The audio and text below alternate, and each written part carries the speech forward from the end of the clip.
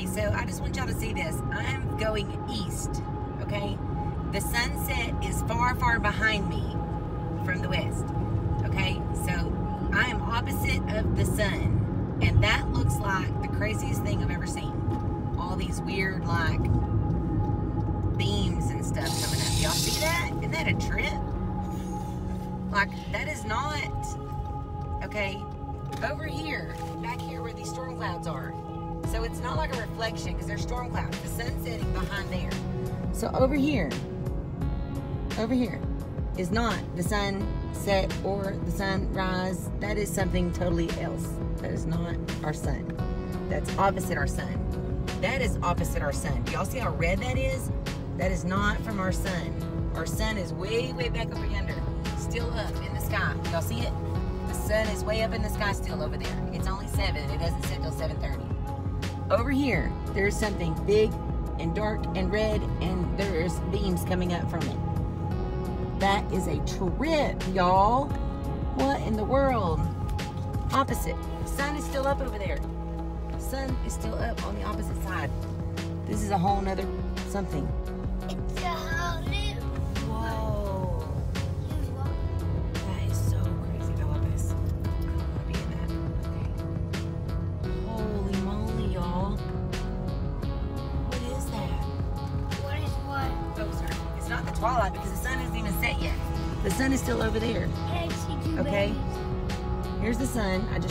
So I'm in the sun.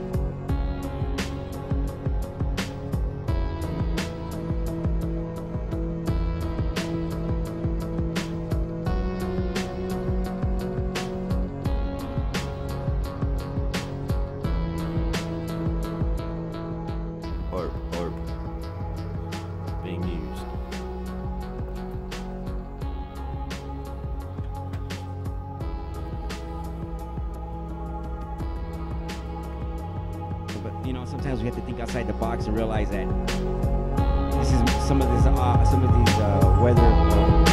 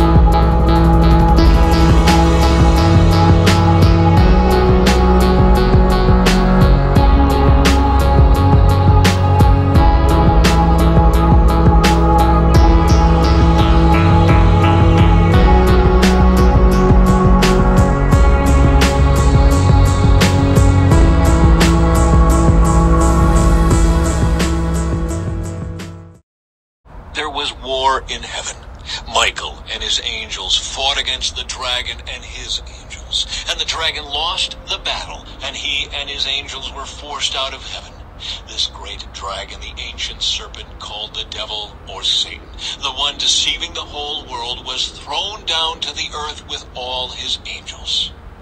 Then I heard a loud voice shouting across the heavens, It has come at last, salvation and power and the kingdom of our God and the authority of his Christ. For the accuser of our brothers and sisters has been thrown down to earth, the one who accuses them before our God day and night. And they have defeated him by the blood of the Lamb and by their testimony.